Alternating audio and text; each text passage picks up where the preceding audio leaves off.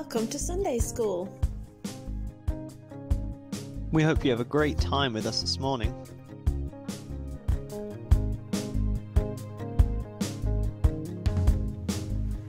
Hello everyone, welcome to Sunday School. Well, we were last here at Easter and that seems a long time ago now, doesn't it, Wuffles? There's an awful lot's happened since then. We've had some time off work and school for May Day and also for the King's coronation. That was exciting, wasn't it? So we enjoyed it, didn't we?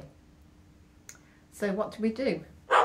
TV, yes, we watched it on TV. That was one thing we, we did. What was your favourite bit? Seamus. Yeah, Seamus the Irish Wolfhound. Did you see Seamus? He was the only dog in the parade. That was a really big honour, wasn't it? Would you have liked that honour? Yeah, um, but I'm not sure you would have done it quite as well as Seamus because he was good at marching in line. And maybe that's not something you'd have been quite so good at. Yeah, perhaps not. Uh, but anyway, it was a great honour for Seamus. And there was something else we enjoyed as well, wasn't there? Park walk. Yes, we went down to the park and uh, because it was a sunny day on the Sunday of the coronation weekend, we went to the park and it was lovely, but there were lots of people, weren't there? And lots of dogs. And who did we see? Big dogs. Yes, we did. We saw two Great Danes. They're really big dogs, aren't they? And they belong to somebody I know, and they have them as guard dogs. So Wuffles was a little bit scared, weren't you? And you hid behind my legs to start with, didn't you? And you didn't want to come out. But you did get braver when I went to talk to them. And guess what? What did you find? Yeah, they were friendly, weren't they? So that was nice. So although they look scary, you've actually made two new friends. And that's Brutus and Laura, isn't it? The Great Danes. So that's lovely for Waffles to have made some new friends, and particularly when you didn't think you'd be friends with them, did you? You were too frightened. Well, today there's somebody in our story who was a little bit frightened. Well, perhaps a bit more than a bit frightened. He was very frightened of going to talk to some people. His name was Jonah, so we're going to watch a cartoon and find out what happened to him now. Heroes of the Bible Jonah. This is Jonah. Uh-huh. Jonah was a prophet. That means it was his job to tell people what God told him to say. Yep. One day, God told Jonah to go to Nineveh because the people of Nineveh were doing bad things. Uh, But instead, Jonah ran away where are you, please? And went to the port to board a ship going the other way. He was hoping to get away from God.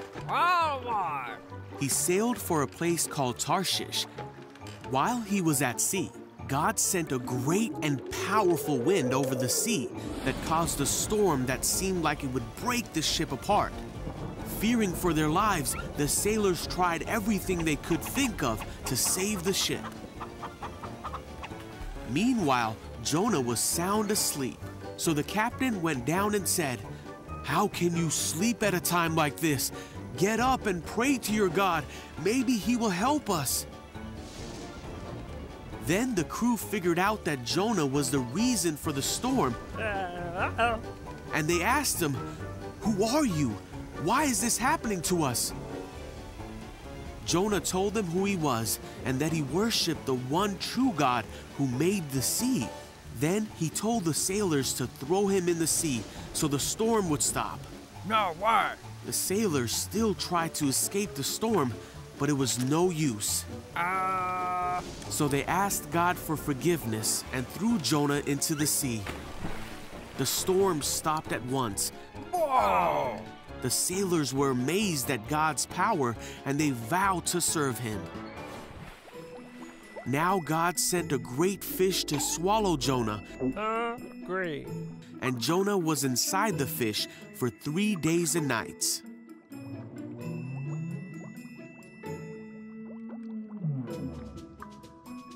Jonah prayed to God from inside the fish, and God ordered the fish to spit Jonah out.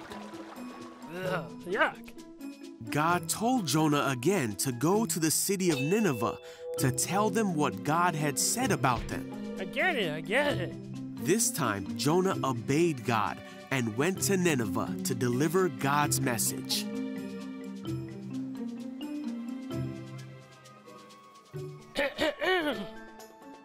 the people of Nineveh stopped doing bad things and turned to God. They were saved because they listened to the message that God had given Jonah.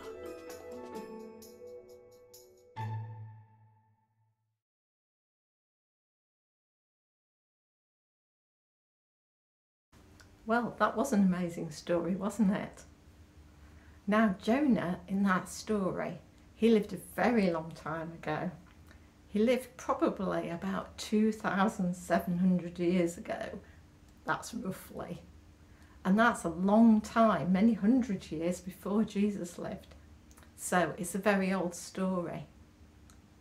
But one thing we know at those times was that people didn't believe that God could talk to them directly. They had other people who spoke to God, and Jonah was one of those people. So it was his job to listen to God and do what he said.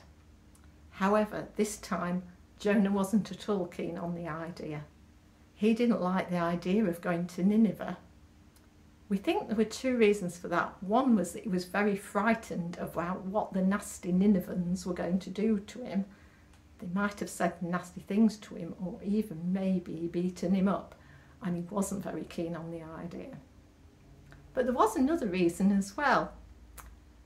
Jonah didn't really think it was fair that the Ninevans got a second chance. He thought they'd been so bad that it was hopeless. There was no hope for them.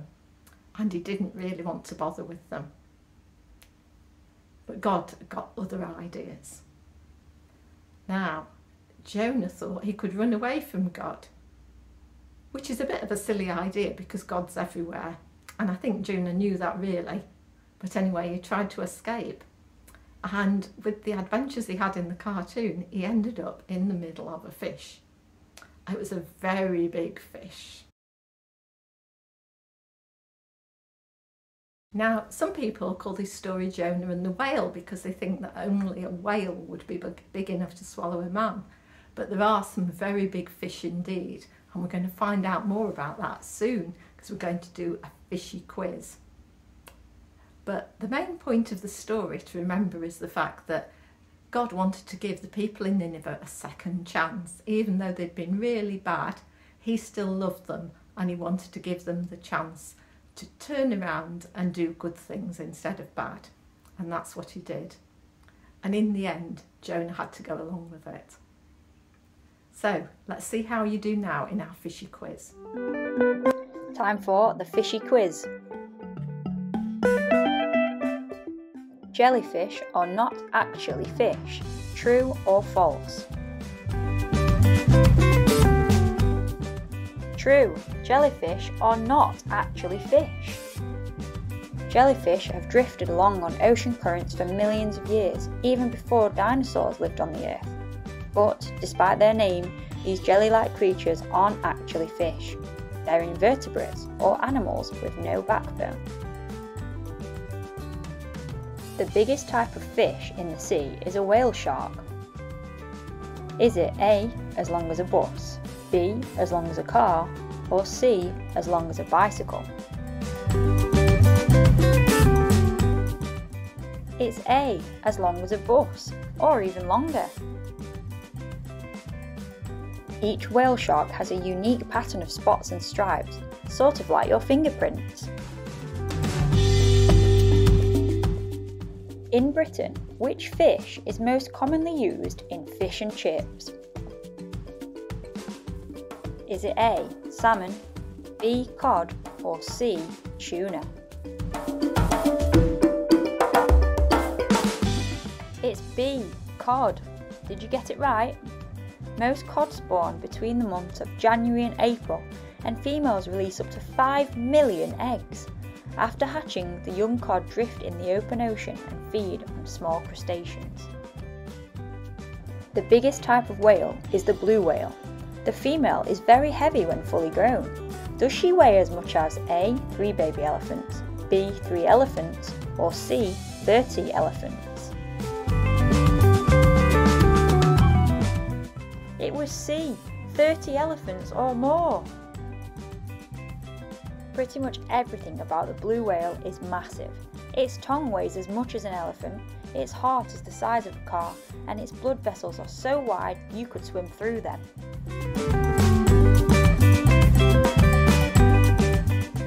In the film Finding Nemo, what sort of fish is Nemo? Is he A. a goldfish, B. a clownfish, or C. an angelfish?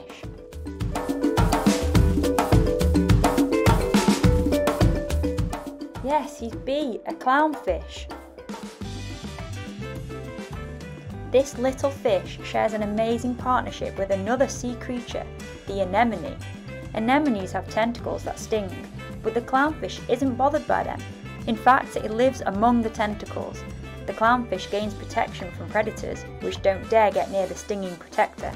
The anemone benefits from having the clownfish around too. The clownfish nibbles away parasites that bug the anemone.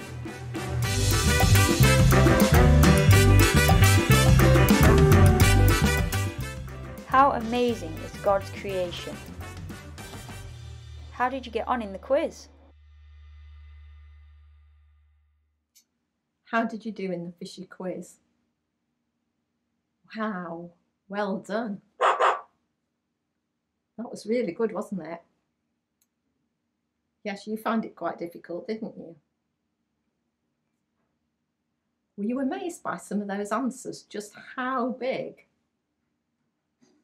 a whale or a fish could be? That's really big. So I hope that helps you imagine what it must have been like for Jonah being inside. But the main thing to remember from the story is the fact that God loves everybody. He loves even people who are doing things wrong and who aren't listening to him. He loves them just as much, but he wants to give everybody the chance to say sorry and to turn to him and to start doing the right thing. So that's a great message, isn't it, that Jonah had to give. So, with that really big story about a big fish, I think we should have a big song. We've done this song quite a lot recently, but it's such a good one. Let's sing together. Our God is a great big God. Okay, everyone, so I hope you've got your instruments ready, whether you've found something that shakes, something that makes a big noise, something that makes a bang, or even something that makes a bit of a tune. Um, but why don't you join in uh, with this song? It's Our God is a Great Big God. And if you know the actions, you need to be doing them as big as possible. Okay.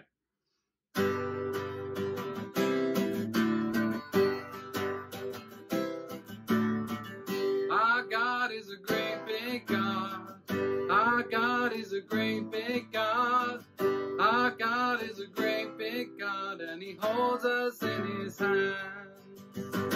Our God is a great big God. Our God is a great big God.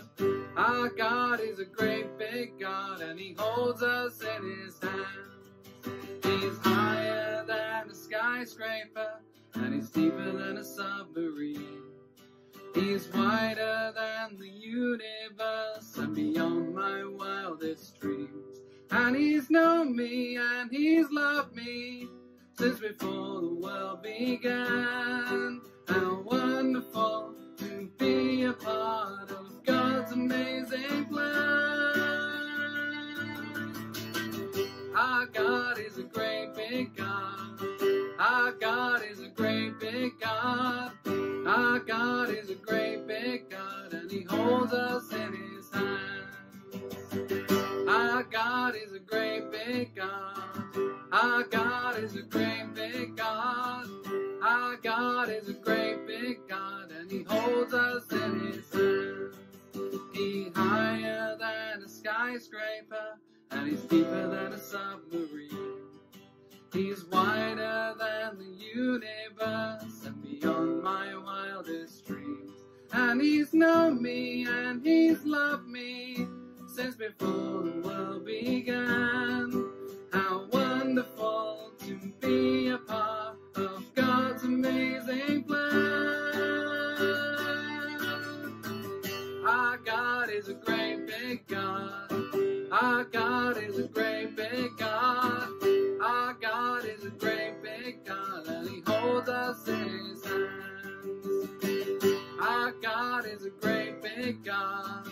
Our God is a great big God. Our God is a great big God, and He holds us in His hand. And He holds us in His hand. And He holds us in His hand. And He holds us in His hand.